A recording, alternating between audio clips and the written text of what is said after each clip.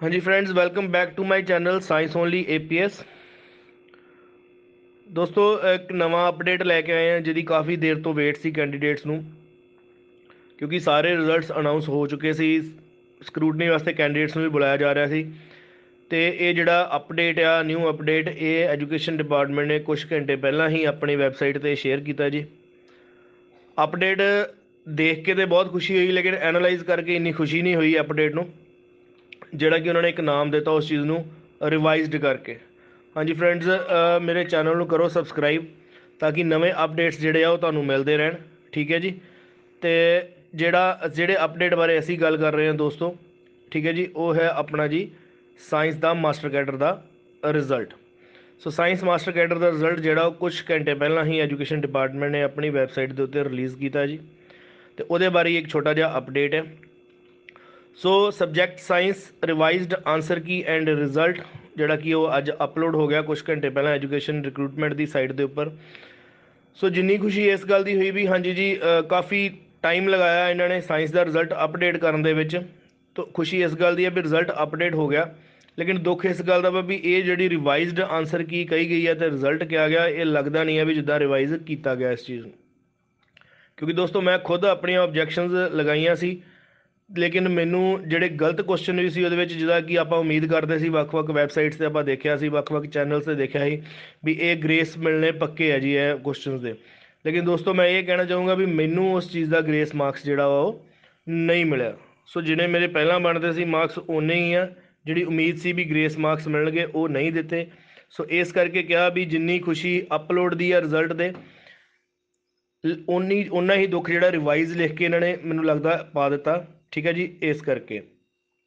ਸੋ highest marks ਜਿਹੜੇ ਆ ਦੋਸਤੋ 112 ਵਾ, ਦੋ ਕੈਂਡੀਡੇਟਸ ਤੇ ਮਾਰਕਸ ਜੋ ਮੈਂ ਐਨਾਲਾਈਜ਼ ਕੀਤਾ ਰਿਜ਼ਲਟ ਦੇ ਵਿੱਚ। ਹੁਣ ਇਹਦੇ ਰਿਜ਼ਲਟ 'ਚ ਲੈਕ ਪੁਆਇੰਟ ਕੀ ਹੈ ਜੀ? ਰਿਜ਼ਲਟ 'ਚ ਲੈਕ ਪੁਆਇੰਟ ਇਹ ਹੈ ਵੀ ਪਹਿਲਾਂ ਤੇ ਇਹਨਾਂ ਨੇ ਕੈਟਾਗਰੀਜ਼ ਨਹੀਂ ਮੈਂਸ਼ਨ ਕੀਤੀਆਂ ਕੈਂਡੀਡੇਟਸ ਦੀਆਂ।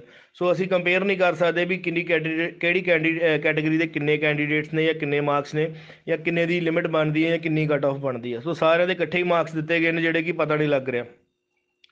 ਦੂਸਰਾ ਲੈਕ ਮੈਨੂੰ ਇਹ ਲੱਗਦਾ ਵਾ ਜੀ, ਕਿਉਂਕਿ ਇਹਨਾਂ ਨੇ ਪਹਿਲਾਂ ਸਿਰਫ ਆਨਸਰ ਕੀਜ਼ ਰਿਲੀਜ਼ ਕੀਤੇ ਸੀ ਅਸੀਂ ਸਾਰਿਆਂ ਨੇ ਆਨਸਰ ਕੀਜ਼ ਦੇਖ ਕੇ ਆਪਣੇ ਆਪਣੇ ਮਾਰਕਸ ਬਣਾਏ ਸੀ।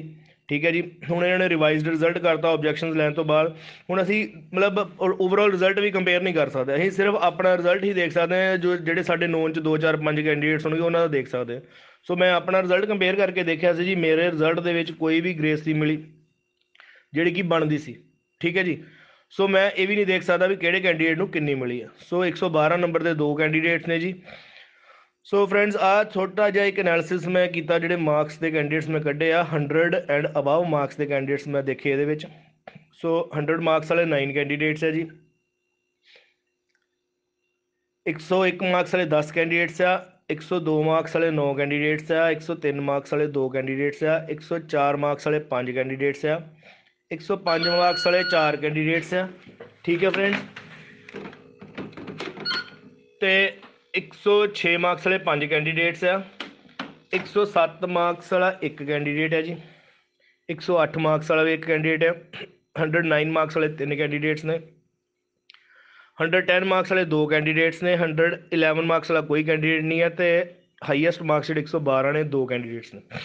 ਸੋ ਦੋਸਤੋ ਥੋੜਾ ਜਿਹਾ ਇਹੋ ਹੀ ਲੱਗ ਰਿਹਾ ਵੀ ਰਿਜ਼ਲਟ ਰਿਵਾਈਜ਼ ਹੋਇਆ ਕਿ ਨਹੀਂ ਹੋਇਆ, ਠੀਕ ਹੈ ਜੀ? ਤੇ ਦੂਸਰਾ ਲੈਗ ਪੁਆਇੰਟ ਇਹ ਹੈ ਵੀ ਜਿਹੜੀਆਂ ਇਹਨਾਂ ਨੇ ਕੈਟਾਗਰੀਜ਼ ਨੂੰ ਮੈਂਸ਼ਨ ਨਹੀਂ ਕੀਤਾ, ਕਰਨੀਆਂ ਚਾਹੀਦੀਆਂ ਸੀ। ਰਾਈਟ ਦੋਸਤੋ? ਸੋ ਦੋਸਤੋ, ਨਵੇਂ ਅਪਡੇਟਸ ਵਾਸਤੇ ਅੱਗੇ ਸਕਰੂਟਨੀ ਦੀ ਲਿਸਟ ਆਊਗੀ ਇੱਕ ਅੱਧੇ ਦਿਨ ਚ, ਠੀਕ ਹੈ ਜੀ? ਜੇ ਕੱਲ ਆਈ ਤੇ ਫਿਰ ਮੰਡੇ ਨੂੰ ਦੇਣਗੇ ਸਾਇੰਸ ਦੇ ਕੈਂਡੀਡੇਟਸ ਦੀ ਸਕਰੂਟਨੀ ਦੀ ਲਿਸਟ ਸੋ ਮੇਰੇ ਚੈਨਲ ਨੂੰ ਲਾਈਕ ਸ਼ੇਅਰ ਐਂਡ ਸਬਸਕ੍ਰਾਈਬ ਕਰੋ।